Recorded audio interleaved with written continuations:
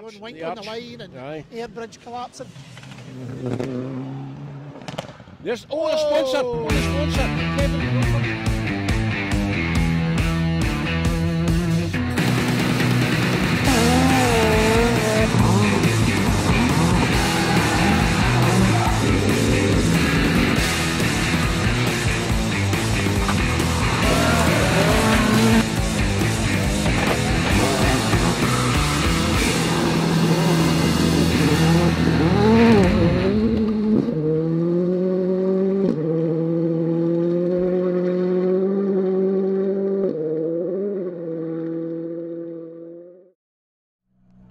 The KNC Groundworks Scottish Rally Championship stayed on the tarmac for round four of the 2023 season, swapping the fast and flat roads of the Scottish borders for the tight, twisty, and narrow roads of Argyll for the Dunoon Presents Argyll Rally.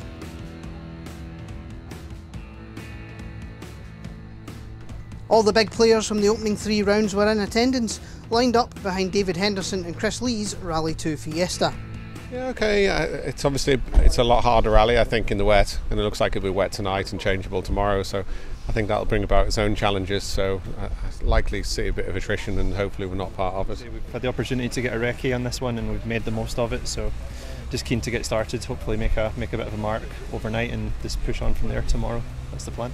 Ah, not too bad. Um, I'm looking forward to getting back on the gravel again, so it'll just be a case of getting through this one and getting some points on the board. But first time here, so I'm quite looking forward to it. The stages look quite tricky and fast, so yeah, we'll see how it goes tonight. How are you feeling about the Impreza on these roads? Uh, I've had a run out in it, and I could get too critical if you kind of know your car and you know it better and better. Whether if you just jumped in like I was in a hire car here two years ago, and you're like, oh, this feels okay, but you know you, you improved as the rally went on, and I had a good result the last time. So fingers crossed, we'll be at the races. Yeah. got quite a good chance. We had a really good recce yesterday.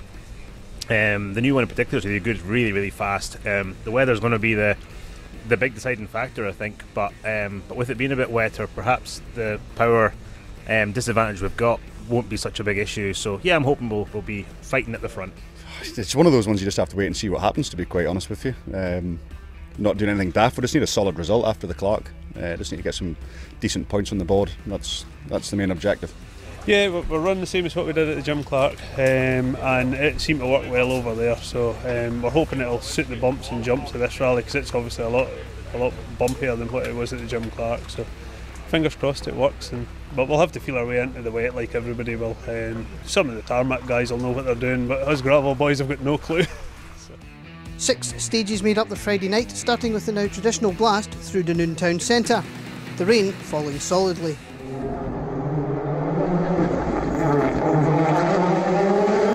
The difficult conditions were going to cause drama. Speyside winners Finlay Retson and Paul Beaton were the first to fall victim.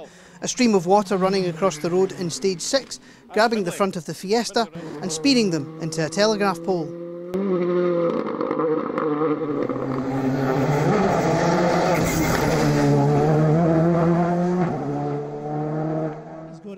Leading after Dunoon, Hugh Brunton and Drew Sturrock would roll out of the event on the same stage after clipping a wall. Both were sore, but thankfully not seriously hurt.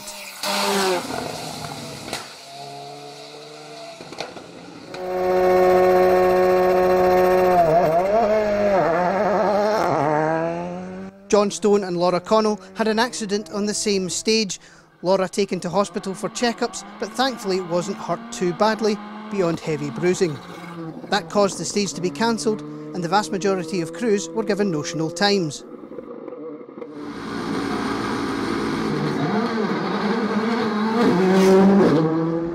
Topping the survivors, Henderson and Lees beat the bogey time in three by seven seconds. They then survived a big moment in stage five, and despite feeling they were too cautious, they took a four second lead to bed with them.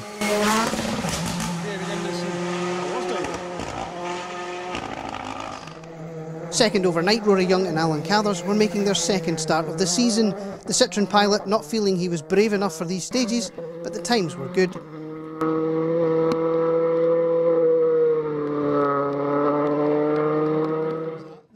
Mark McCulloch and Michael Hendry were 11 seconds further back. They had adjusted the rear suspension setup after stage 3 and were happy with the car on the subsequent stages.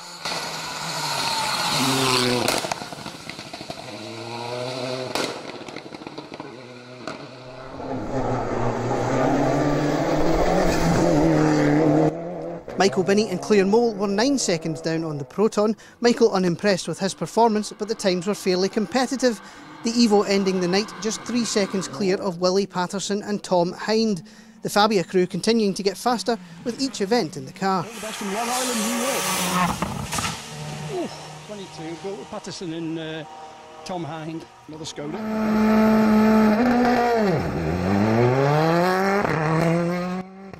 Experiencing wet tarmac properly for the first time in the I-20, John Wink and Neil Shanks had decided on a fast but safe run over the Friday stages. 13 seconds behind the Fabia, they had only 2 seconds over the Evo 10 of Wayne Sisson and Peredur Davies overnight. Either have a little look across it. Well, now. There was only four seconds to the battle for top two-wheel drive. Archie Swinscoe and Jane Nichol were continuing from where they left off on the Jim Clark, using their experience of Mull to good effect. The Adam five seconds up on Gordon Morrison and Ian Parker's Mark II Escort.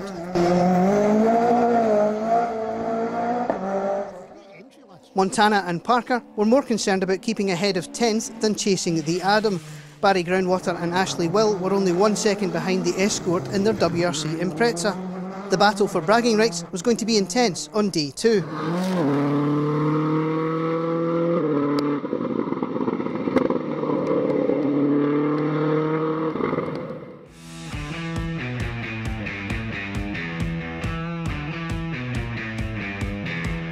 Last night was okay. Uh, a little cautious on the on the long one, but I was one of the few to get a run through there, so it was okay. Good. And you're enjoying it? I don't know if I enjoyed last night too much. It seemed a bit chancy in a few different places, but it's all right. We are where we are. Oh, I find the stages here really difficult. It's a really fine line between if you don't push, you're nowhere in the times, you're not competitive, but if you just push that a little bit too much, it's a really fine line here. You can have some pretty big moments, so I think we're maybe getting a little closer to that line now. So, but it's yeah, it rewards the brave, and I haven't taken my brave pills yet. So, But no, it was a good night. We, we struggled across the first stage, uh, the first main stage. We got going well in the second, so we're hoping it'll continue like that today. Good. Uh, it's a better day of weather, I think, today. Yeah, it's looking. I think there might be rain for this first loop, but I think it's to dry up after that. Um, but to be fair, the rain was quite good fun. Uh, you never know if you're on the limit or you're going to put it off the road, but we just keep trying. it was a bloody slow start for me, to be fair. I just I had no confidence at all for some reason, so uh, I needed to pull my finger out a wee bit. So we had a decent run through the short stage, um, and the new stage went. I felt like it went terribly, but the time wasn't actually too bad. So, um, and then obviously we, we came on John Stone's accident uh, on the 14 miler, so that was that was the, the night the night over for us. So, um, a fine start, but feel like there's still plenty left in the bag. So. Day two dawned still damp, but with a promise of drying up. Four stages would make up the opening loop. The drama would continue. Henderson and Lees running wide on a right-hander and damaging their rear suspension, forcing them to retire.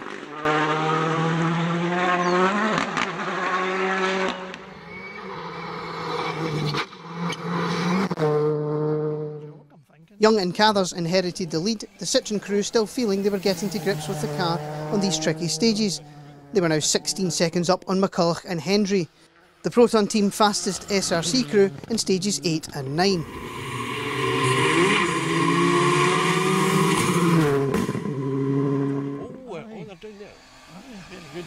Michael. 40 seconds back, Binny and Mole were keeping things safe in third. The Mitsubishi now 48 seconds clear of Wink and Shanks. The I-20 crew changed the setup overnight after some advice from Matt Edwards and were much more confident. and go left on crest to pass four right don't. Opens five max go. Six left max don't. Big rock. 80 to five left okay over small bump 100 fast five right on crest line 80 to long five left max. Go on go on go on go on. Past the second lay-by this one's okay 150 go on past the lay-by six right max over the bump okay 60 fast five left only 60 fast three rights damp. Fast three right damp. goes 60 again, slowing for left narrows, only 30 chicane, left entry three bales. Patterson and Hind were still fifth, Willie feeling that having two spears on the opening loop was upsetting the balance of the car in Glendaruel. But the rest of the loop was solid, and the Fabia was just one second up on Sisson and Davies Evo with four stages left.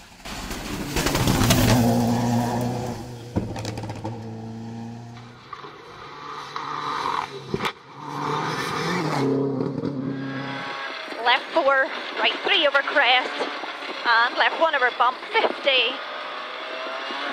Left one into right five. Grid, quick left two in.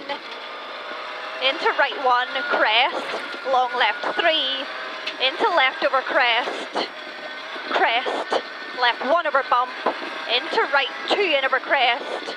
Left two, right one. Caution crest, left six. 49th overall after a difficult final stage on Friday night. Jock Armstrong and Hannah McKillop were motoring on Saturday morning. The Impreza now just 11 seconds down on the Evo.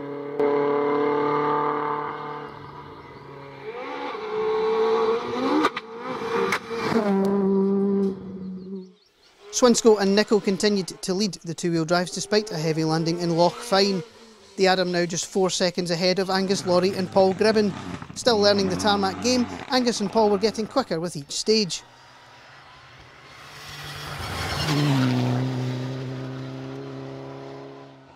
And eight seconds back, ALM teammates John Rintoul and Ross Hind were also speeding up in the daylight.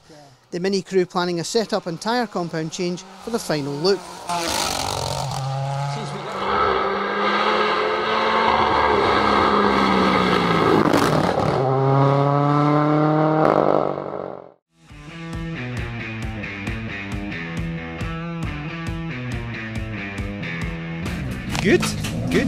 Yeah. It's uh, typical Argyll. It's uh, been very wet, very challenging stages, but it's good. No, it's good. We're starting to get the grip of the car a bit more now, a bit more confident. So yeah, I think there's a bit more time this afternoon. So we'll see what we can do.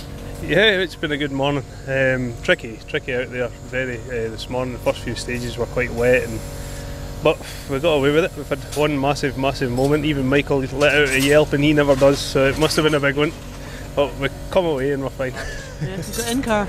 Uh, probably, it'll probably look like nothing in the in car. It was more the speed we were at at the time, but we just landed on the grass at probably, I don't know, 80, 90 miles an hour. It's quick enough. We'll try not to do that this afternoon.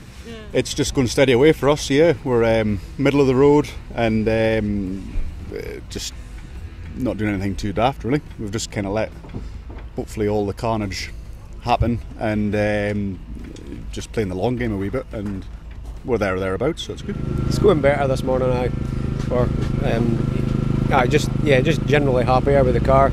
We made some setting changes this morning on the advice of Matt Edwards, so it's maybe all in my head, but it's felt better. And the times are a wee bit better. So, um, and the most important thing is we're both feeling more comfortable in the car.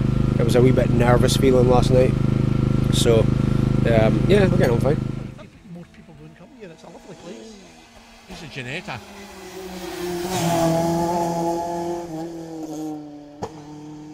Close. Jordan Anderson and Harry Stubbs backed up their excellent run on the Jim Clark with another good drive in Argyll, The Impreza taking the win in both the Albin Garage Challengers and Groundwater Lift Trucks Subaru Cup.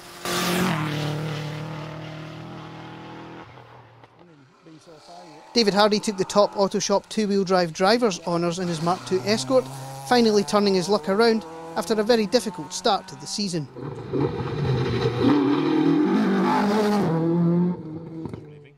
Ashley Morris had Steve Harris alongside for the first time in the SRC, the Fiesta R200 pilot, producing her best Scottish performance so far, taking the ladies' win along with 43rd overall.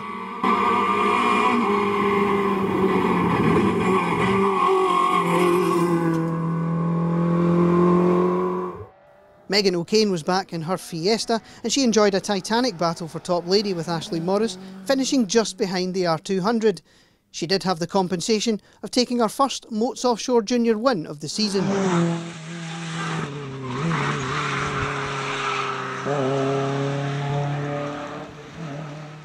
And for a more detailed look at the categories and classes, check back for our other reviews coming soon. The final loop was a repeat of Saturday's opening loop, and the drama wasn't over yet. Swinsko and Nicol were the first to hit trouble.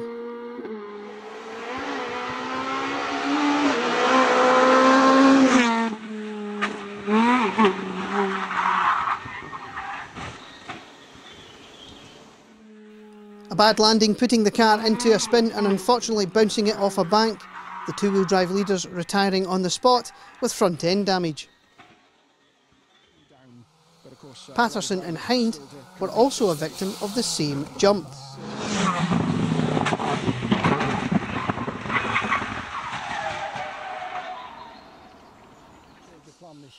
The Fabia surviving the spin, but further into the loop they would slip off the road into retirement. Yeah, so 14th overall, but sporting body damage, and we don't know where that's happened.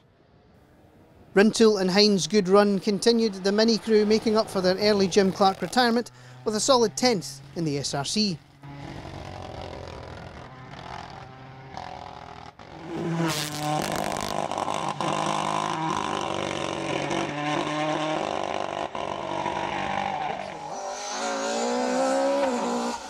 The battle for bragging rights between Morrison and Groundwater had continued all event. Morrison and Parker eventually losing out to Groundwater and Will by just one second at the finish. Ian getting the consolation of top two-wheel drive navigators points.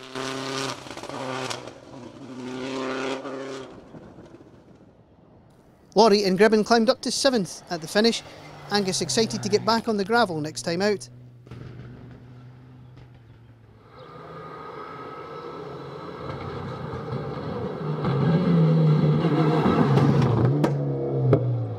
Sisson and Davies weren't quite able to keep Armstrong and McKillop back over the final loop, the Evo ending up just four seconds down on the Impreza at the finish.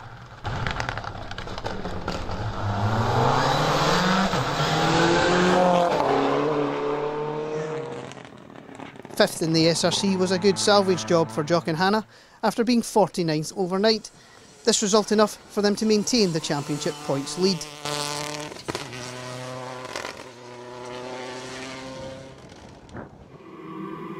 Wink and Shanks continued their strong season with fourth, an excellent result considering John's lack of tarmac experience.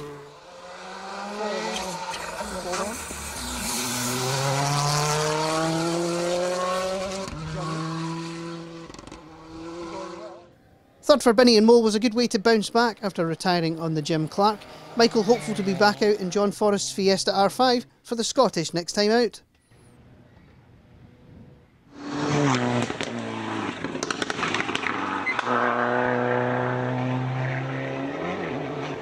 Chuffed to bits with that. We needed a good haul of points uh, after the non-finish at the Clark, and uh, we just came in with a sensible uh, heads on and uh, did exactly what we wanted to do. So chuffed to bits.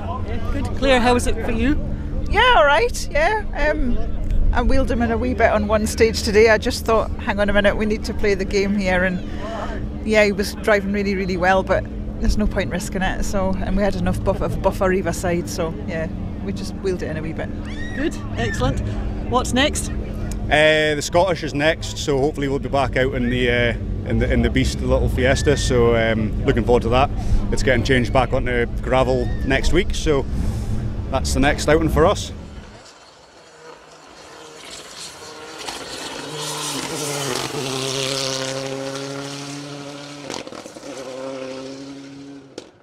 Over a minute ahead of the Evo at the finish, Argyll was an excellent result for McCulloch and Hendry. Mark absolutely delighted that the hard work on the home engineered car is beginning to pay off on every event.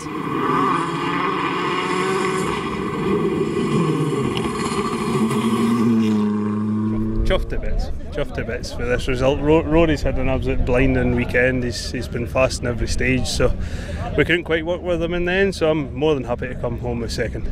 Yeah, good because there was a lot of carnage out there this weekend, wasn't there? There certainly was, and we've had a fair few moments ourselves, but we've got away with them all luckily. So uh, pleased, really pleased, and uh, nice to get some points for the championship. Okay. Good. Michael, how was it from your side of the car? Uh, really good, enjoyable event. Stages are good. Uh, Mark drove really well the whole weekend, so can't complain. The, and the suns came out nice, so good. made the afternoon good. Good, good. And what's next? Uh, it'll be the Scottish rally next, so it's sounding quite different for for everyone this year, new stages and things like that. So now that we've got the car sorted in tarmac, we'll hit to try and get it working in gravel again. And 27 seconds up the road at the finish, it was a big day for Young and Cathers. Amazingly, this was their first SRC win after 17 years of supporting the championship.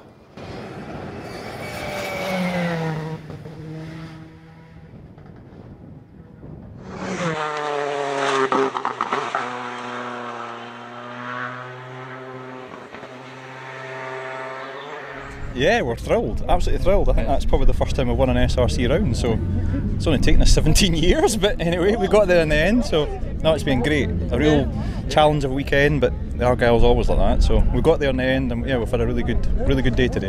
Yeah, good, excellent. Alan, how's it been from your side? Oh, it's been pretty uh, tough, really. Um, last night, you know, the notes and the, the wet weather and that, and we got it sorted in the end and got through. And then today, we were a bit of a shaky start because you couldn't get the balance right uh, on the, on the notes. But then we pushed on in this second sector, and uh, everything went well. Apart from the odd chicane that was tight, but we don't talk about that, do we? No, we don't. We don't. No, No, it was good. Yeah. Good. What's next? Um, we'll try and do the Grampian if work commitments allow, and we'll definitely do the Galloway Hills. So um, hope to do hopefully another two rounds.